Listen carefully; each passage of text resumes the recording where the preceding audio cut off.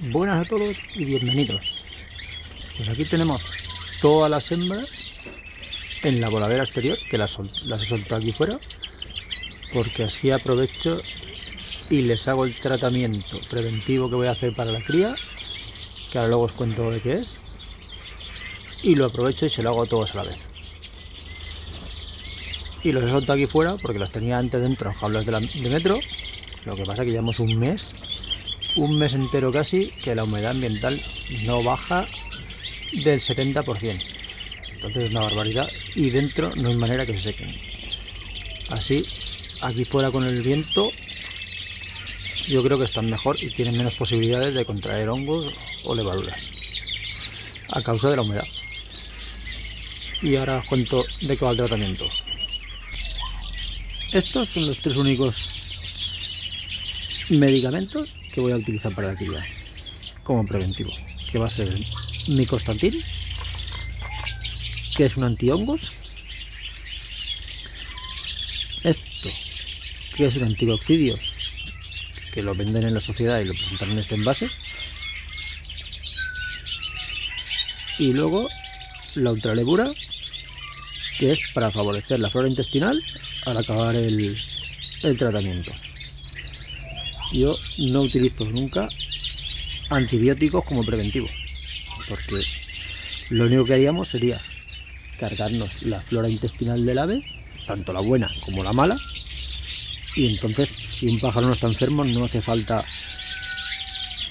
darle antibióticos porque no nos va a solucionar nada. Lo único que va a hacer es bajarle las defensas y luego cualquier hongo, cualquier otra levadura o cualquier otra infección le puede afectar y entonces sí que tendríamos un problema. Aquí el problema que teníamos es el de la humedad. Que mira, si podéis ver la, la voladera, está todo empapado, todo mojado. Y eso que llevará un mes, que aquí no llueve ni lo riego para nada. Sin embargo, el suelo se puede ver que está empapado. Entonces aquí el problema que hay es de hongos y levaduras. Porque todas las veces que he enviado las muestras de heces de los aves a analizar, me ha salido siempre lo mismo. Hongos y levaduras. Pero hay que tener en cuenta que el 90% de las aves tienen los hongos y las levaduras y conviven con ellos.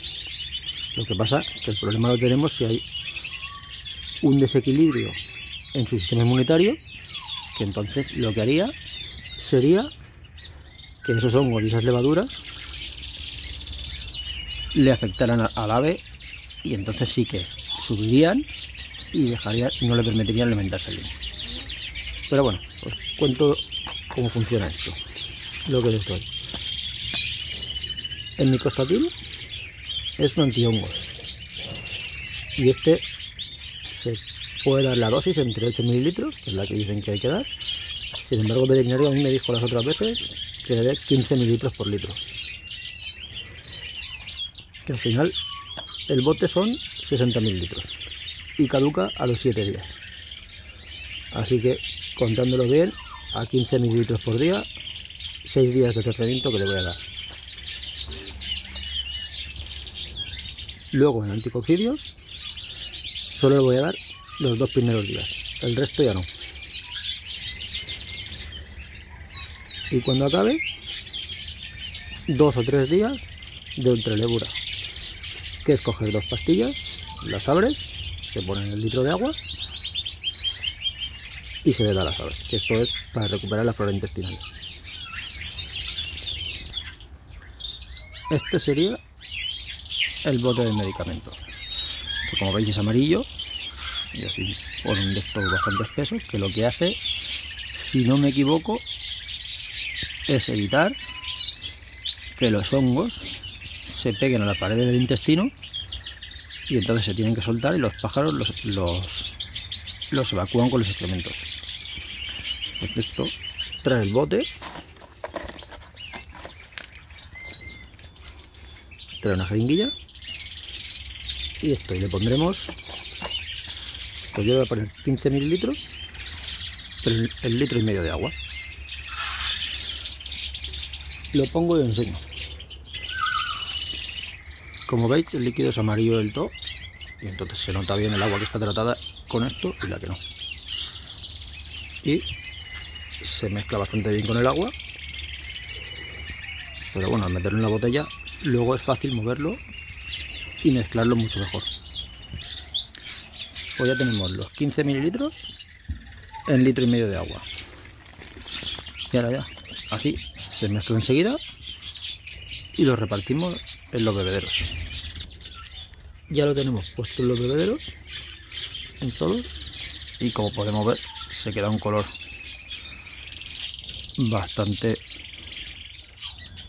amarillo. Lo que pasa es que se nota bien el que tiene el líquido y el que no. Lo que pasa es que este líquido lo que hace es que mañana ha precipitado bastante y estará bastante en el culo del bebedero. Por eso hay que cambiarlo todos los días. Y ahora ya se lo ponemos a los pájaros. Que aquí yo lo que hago va a ser quitar el bebedero automático. Para que así no puedan beber de aquí tampoco, solo tengan que beber del bebedero. Y como queda el hueco este aquí, y luego un alambre que tenía puesto arriba,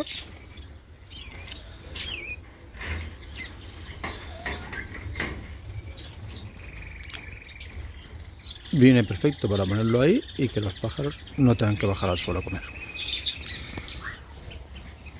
Entonces las hembras ya las tendremos. Ahora se lo ponemos a los machos.